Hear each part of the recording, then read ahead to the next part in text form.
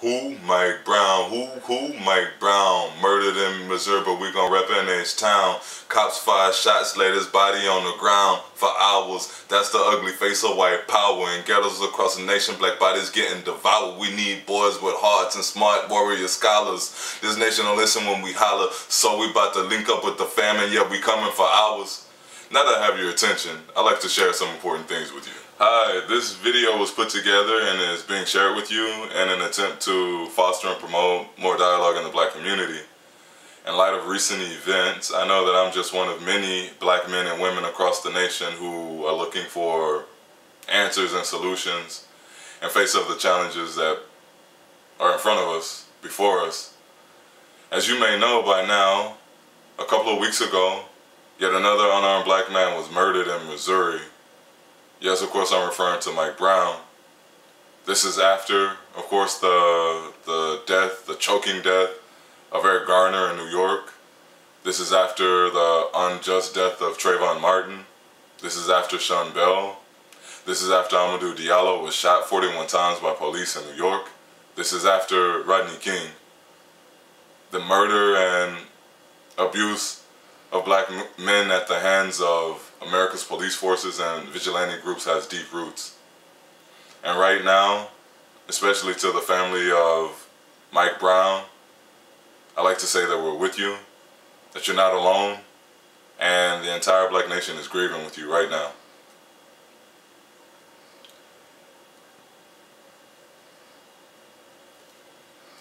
In this moment of soul searching and looking for answers, we have to be able to put these horrible deaths and their context.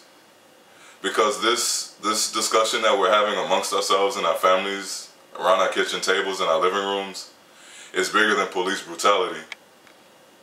Black people in this country are six times more likely to be incarcerated than white people. Our unemployment is usually twice that, if not more, of the national average. And the recent economic downturn, we lost our houses more often, our wealth was cut by at least 56%, according to some statistics. Our schools don't work in our neighborhoods. As I said, this is much, much bigger than police brutality. And the larger society's ability to ignore the conditions of black life in this, in this country and black people's continued acceptance of these conditions in this country actually stem from the same phenomena. And that's that in spite of in addition to being the victims of slavery, the victims of white terrorist organizations, in addition to being neglected by the institutions of this country, black people are the victims of a campaign of disinformation and anti-African propaganda, which blames us, the victims, for our own victimization. For example, you will notice how the police department in Ferguson are claiming that Mike Brown might have had marijuana in his system or was possibly connected to another robbery, as if that is some kind of justification for the murder of an unarmed black man.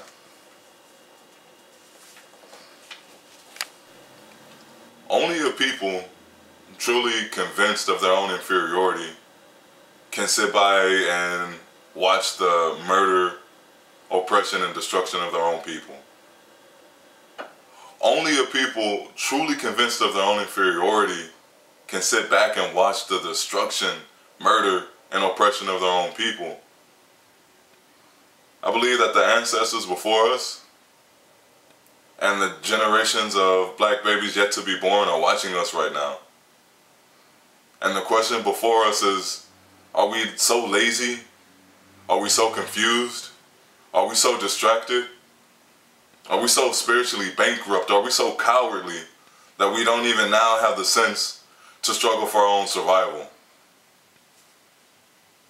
Our experience in this country has left us denatured and, and demoralized. Generations of abject poverty, generations of injustice have shocked us out of our natural black African minds. That's why the things that seem normal to other people don't come normal or natural to black people. That's why we don't build and sustain families to promote the healthy growth of our children. That's why we don't build black businesses to employ our own people. That's why we don't have schools that teach out teach us about ourselves from our own unique cultural perspective.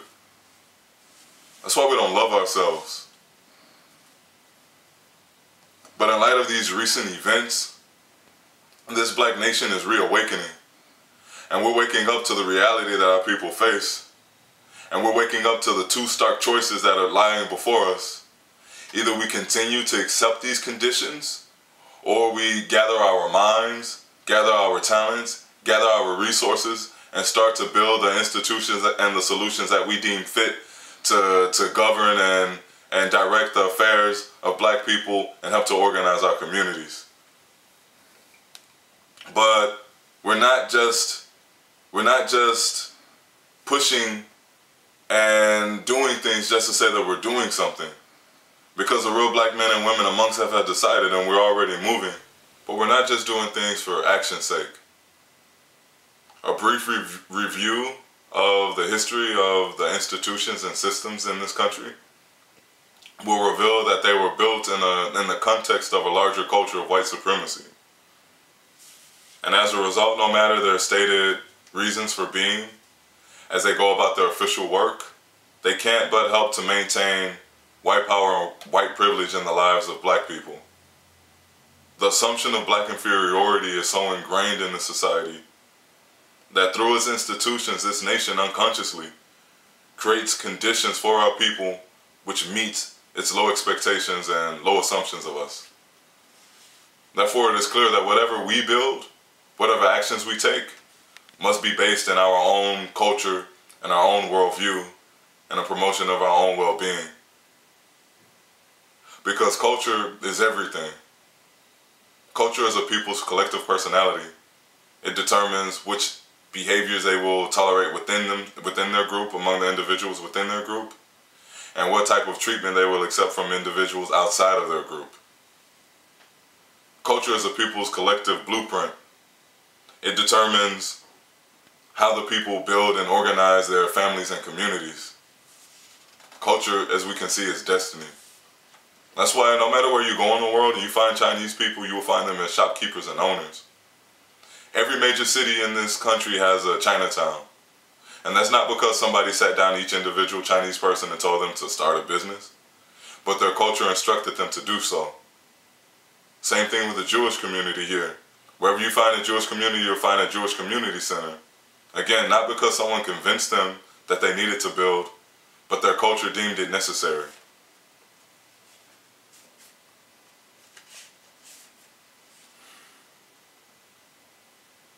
And wherever you find black people, you find us running from ourselves, running from our history, running from our culture in an attempt to find favor and find mercy with other groups.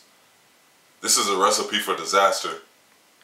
That's the formula for, for another Katrina. That's the plan for more Trayvons and, and more Mike Browns. That's the road to genocide. Therefore, brothers and sisters, if we are to avoid that ultimate tragedy, it is clear that we must become as black as we can get. Yes, we must wrap ourselves within ourselves. Our blackness should be more than our race. It should be our armor. It should be our roadmap. Our blackness should be our promise. It should be our hope. It should be our bond. Because the success and the actions of other groups proves to us that the very thing that we're being attacked and killed for, our blackness, in the end shall be our only salvation. But in order to ensure our people's safety, in order to promote our own positive development and defend our humanity, we must first rid ourselves of our own belief in black inferiority. We must admit that as a people, we are wholly ignorant of ourselves, our tra traditions, and our history. They've all been presented to us through the lens and from a perspective of a people who have never understood us and who have never had our best interests at heart. So I say, let us open our minds, let us open our hearts, our souls to our true selves and our true history. And through that process, we will witness the redemption of our people, not only in this country, but in black communities all over the world. Now, many people can, can point out the problems, but it's rare that you have someone who presents um, a plausible solution to the things that we're facing. And I want to be clear that this, that, that this isn't that. This is the revolution. This is that change. This is that that campaign for black dignity and black black justice that we've all been waiting for. And if you would have our communities be safe, if you would have our people be employed, if you would have our businesses be more successful, if you would end the glorification of violence and drugs in our community, if you would want an end to the murder and incarceration and abuse of black men and boys by these police, if you would have black women and girls respected and defended as opposed to being disrespected and treated like prostitutes, then you have a right, you have a duty to join us. Your people need you. And your joining us doesn't require you to march in some protest. Your joining us doesn't require you to attend some meeting. All you have to do at this point right now is to make one small commitment. And that commitment is to look every black person you meet in your day-to-day journeys in the eye and greet them. Like my grandma used to tell me, we need to act like we have some home training. So that means saying good morning, good afternoon, good evening, how are you, what's up? Even one of those is enough to suffice. Now let me explain that we're doing this for two reasons. First, we need to cultivate as individuals the habit of making individual decisions in our own personal lives that will benefit and profit the larger black collective. You as an individual are not powerless. Enough of us making the same individual decision have made a group decision. And also we can't deny that the media portrayal of black people, is criminality, uh, its over-representation of black lawlessness affects us just as it affects other groups. And we can't come together if we're afraid of each other. So let us get rid of this, this, this atmosphere of fear and use it to come together and hope and, and unity and get about the business of putting our people back together. Now mind you, this is called the Black Solutions Challenge. And this is just the first step and the first stage and the first phase of our campaign for greater justice, prosperity, and unity and power amongst our people. So do your part. Talk to your brothers and sisters as you meet them. Share this video. And we'll get back at you in the next week or so and continue to talk about solutions. We will change this thing. Thanks for listening. Peace and power.